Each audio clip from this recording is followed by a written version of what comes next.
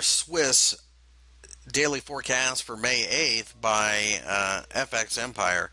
The uh, uh, dollar Swiss, as you can see, broke down uh, below the bottom of the range for Wednesday on Thursday and then tested the uh, 0.9050 level. Turning things back around, we ended up forming a hammer, and it looks as uh, we could perhaps break out to the upside and look for the 0.9350, which is resistive as the 0.95 level would be.